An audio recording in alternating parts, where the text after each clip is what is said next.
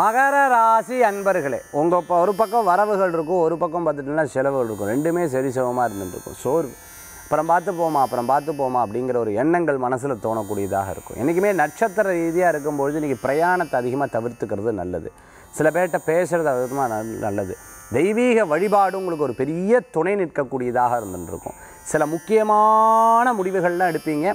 நிச்சயமாக அது கை கொடுக்கும் கவலைப்பட வேண்டாம். அதாவது சிந்தனை பண்ணி வைங்க எக்ஸிக்யூஷன் பண்ண வேண்டாம். ஒரு நாள் கழித்து பண்ணிக்கிறது அற்புதமான பலன்களை கொடுக்கும். சினிமா சம்பந்தமான துறைகள் வாய்ப்பு தேடின்னு இருக்கிறவங்களுக்கு வாய்ப்பு கிடச்சிடும் அதிர்ஷ்டம் தரக்கூடிய எண் ஏழு. நிற பல வர்ண நிறம். வழிபாட்டுக்குண்டான தெய்வம். குரு பகவான் வழிபாடு வெற்றி வழிபாடு.